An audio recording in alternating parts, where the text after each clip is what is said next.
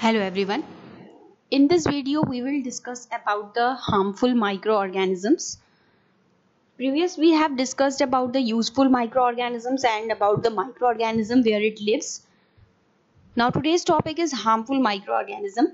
तो बहुत से ऐसे माइक्रो ऑर्गेनिजम्स होते हैं जो बहुत ज़्यादा हार्मफुल होते हैं हमारे लिए और बहुत मैनी वेज में हार्मफुल होते हैं कुछ ऐसे माइक्रो ऑर्गेनिजम्स होते हैं जो कि ह्यूमन बींग्स में डिजीजेस कॉज करते हैं। ह्यूमन बींग्स में ही नहीं प्लांट्स में भी और एनिमल्स में भी डिजीजेस कॉज करते हैं।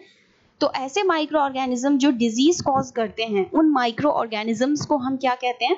Pathogens those are called pathogens तो माइक्रो ऑर्गेनिजम्स फ़ूड को स्पॉइल भी करते हैं क्लोथ को भी स्पॉइल कर देते हैं।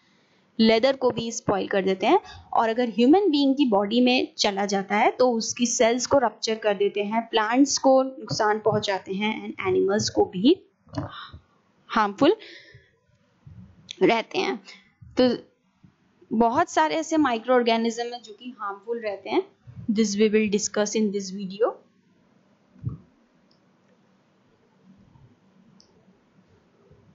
तो ऐसे माइक्रो ऑर्गेनिज्म जो ह्यूमंस में डिज़ीज़ कॉज करते हैं, किस तरीके से करते हैं? कैसे डिज़ीज़ करते हैं? किस तरीके से एंटर करते हैं? ये हम इसमें डिस्कस करेंगे।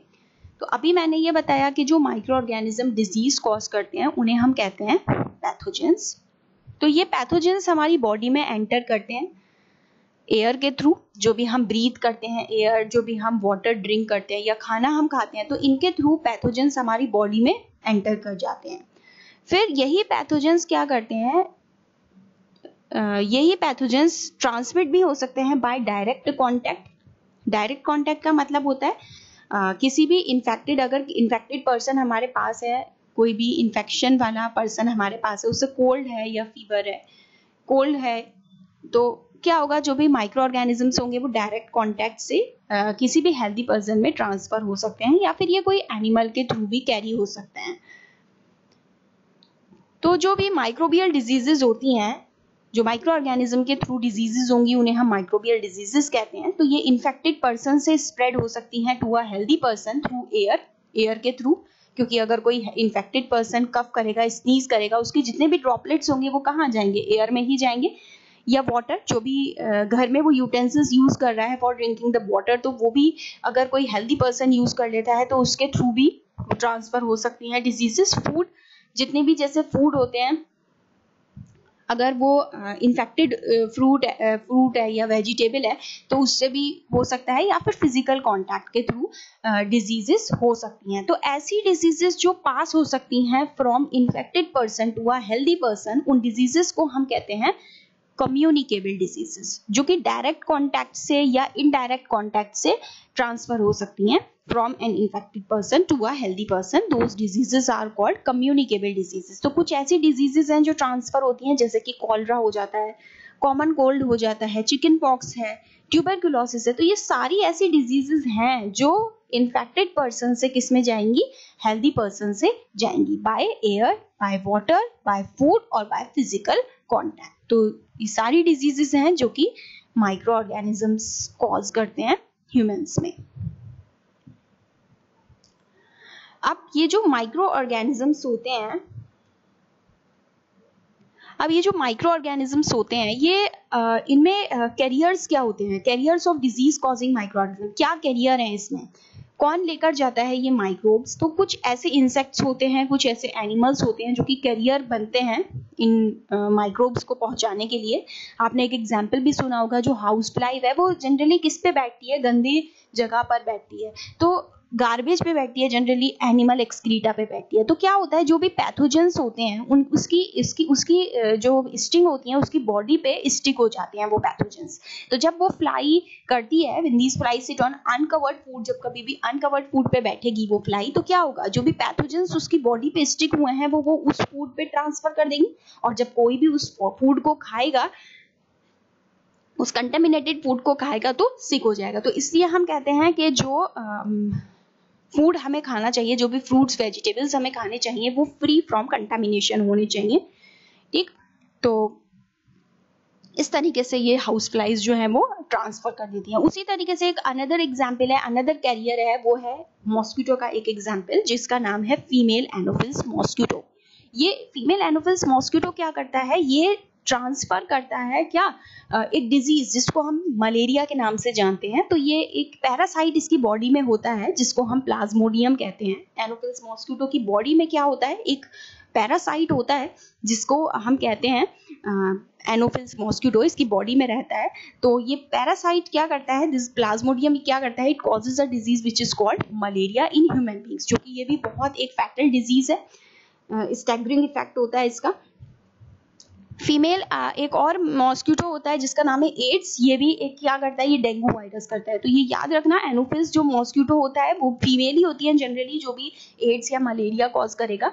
तो जो एनोफिल्स मॉस्किटो होती है, वो मलेरिया कॉज करता है और जो एड्स मॉस्किटो होता है, वो डेंगू वायरस डेंगू कॉज करता है so these are the carriers of the microbes microbial diseases अब ये जो मलेरिया और डेंगू है हम इनको स्प्रेड होने से किस तरीके से कंट्रोल कर सकते हैं? कैसे हम कंट्रोल कर सकते हैं इनको? How can be control the spread of malaria और डेंगू तो अब आपको ये पता है कि, कि जितने भी मॉस्क्यूटोज हैं वो कहाँ पर ब्रीड करते हैं? वाटर में ही ब्रीड करते हैं। ये वाटर में ब्रीड करेंगे वाटर में रिप्रोडक्शन करेंगे जितना भी इनका रिप्रोडक्शन होगा वो वाटर में ही होगा लार्वा वहीं पर बनता है। तो हमें क्या चाहिए कि हमें कहीं पर भी वाटर को कलेक्ट नहीं होने देना चाहिए, ना ही कूलर में, ना ही एल्सवेयर कहीं पर भी पॉन्ड में या घर के आसपास टायर्स में फ्लावर पॉट में तो इन जगह पर हमें वाटर को कलेक्ट नहीं करना है। हमें अपनी चारों तरफ़ जितनी भी हमारी सराउंडिंग्स है, उसको क्लीन रहना, रहने देना चाहिए ड्राई रहने देना चाहिए और तो इसी तरीके से हम मॉस्किटो की ब्रीडिंग को प्रिवेंट कर सकते हैं। तो try to make a list of measures which help to avoid the spread of malaria और भी आप लोग सोच सकते हैं कि मलेरिया को हम किस तरीके से स्प्रेड होने से बचा सकते हैं। जो मॉस्किटोज हैं, उसको हम किस तरीके से स्प्रेड होने से बचा सकते हैं, आप सोचिए और उनको, उनका try to make a list of that then now some common ऐसी डिजीजेस होती हैं ह्यूमन डिजीजेस जो कि माइक्रो ऑर्गेनिज्म के थ्रू होती हैं। बैक्टीरियल डिजीजेज हैं कुछ वायरल डिज़ीज़ है कुछ प्रोटोजोअल डिजीजेज हैं। तो कुछ ये जो ट्यूबरकुलोसिस है टीबी जनरली ये किससे होती है? बैक्टीरिया से होती है और एयर से होती है। जो भी इन्फेक्टेड वाला पर्सन होगा वो क्या करेगा? अपनी जो कफ होगा स्नीज होगा वो एयर में अपने आ, अपनी कफ स्नीजिंग करेगा। तो जो हेल्दी पर्सन होगा उसको इनहेल कर लेगा तो उसके थ्रू वो बैक्टीरिया ट्रांसफ़र हो सकते हैं हेल्दी पर्सन में। तो मीजल्स चिकन पॉक्स पोलियो ये आपने सुना होगा चिकन पॉक्स चेचक हो जाती है पोलियो हो जाता है तो ये क्या है? एक वायरल डिज़ीज़ है एयर के कांटेक्ट में होता है, ये भी इन्फेक्टेड पर्सन से हेल्दी पर्सन में ही होता है। तो इसके लिए हम क्या करते हैं? जो एक कम इसके लिए क्या क्या होता है? जनरली देखा ही होगा आपने, अगर किसी को चिकन पॉक्स हो जाती है तो पेशेंट को पूरी तरीके से आइसोलेट कर दिया जाता है, अलग रखा जाता है। उसकी सारी जितनी भी वो पर्सनल बिलोंगिंग्स है, उस पेशेंट को अलग ही दे दी जाती है और उसको एक सुचेबल एज होती है जहाँ वैक्सीनेशन उसको प्रोवाइड की जाती है। तो चिकन पॉक्स की भी और मिजल्स और पोलियो की भी ये वैक्सीन बचपन में दी जाती है। पेशेंट को. देन कॉलरा एंड टाइफॉइड ये बैक्टीरियल डिजीजेज हैं. ये जनरली फ़ूड और वाटर से होती है. तो इसके लिए हमें प्रॉपरली कुकड फ़ूड खाना चाहिए बॉयल ड्रिंकिंग वाटर पीना चाहिए और पर्सनल हाइजीन हमारे पास होनी चाहिए. सैनिटरी गुड सैनिटरी हैबिट्स होनी चाहिए वैक्सीनेशन होनी चाहिए.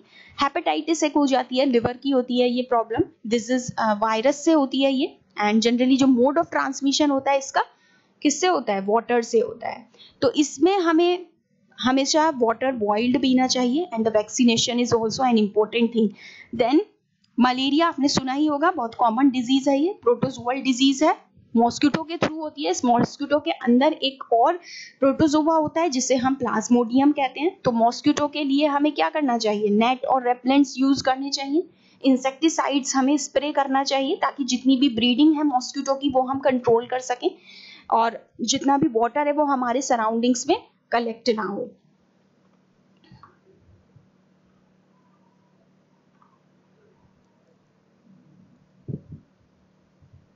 देन ये तो बात थी कि किस तरीके से ह्यूमन बींग्स में ट्रांसफ़र होती हैं। ये सारी डिजीजेज ह्यूमन बींग्स की हैं, ये सारी डिजीजेज होती हैं ह्यूमन बींग्स में, लेकिन कुछ ऐसी भी डिजीजेज हैं जो माइक्रो ऑर्गेनिज्म कॉज करते हैं एनिमल्स में भी और प्लांट्स में भी।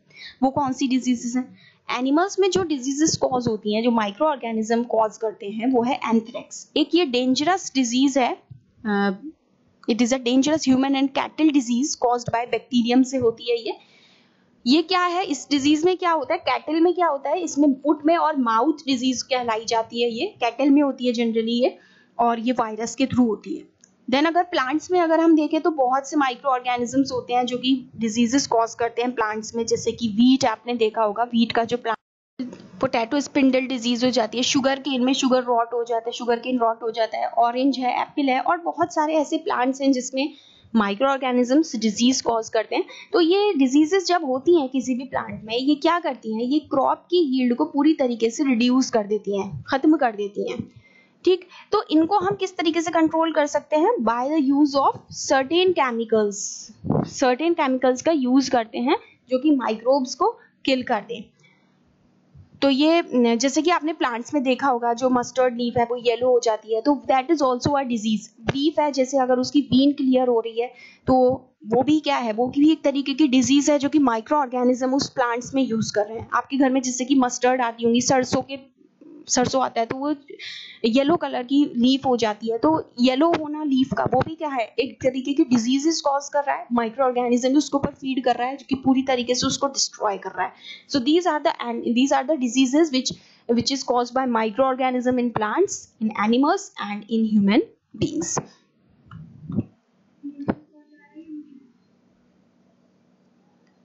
कुछ ऐसी प्लांट डिजीजेस हैं जो कि माइक्रो ऑर्गेनिजम्स के थ्रू होती हैं। कौन सी हैं वो? जैसे कि और भी हैं, जैसे कि सिट्रस कैंकर है रस्ट ऑफ़ बीट है येलो बीन ऑफ़ मैंने भी बताया ये तो सिट्रस कैंकर ये एक बैक्टीरियल डिज़ीज़ है, जो कि प्लांट्स में हो जाती है।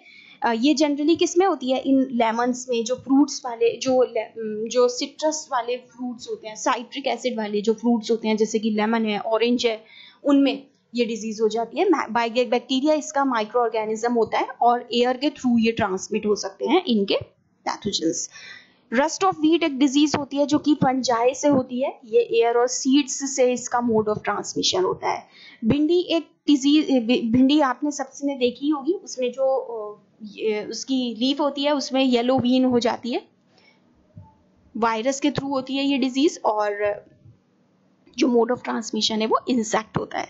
So these are the diseases which is cause by microorganism in plants So this is all about the harmful microorganisms. In the next video, we will discuss about the another topic which is called food poisoning.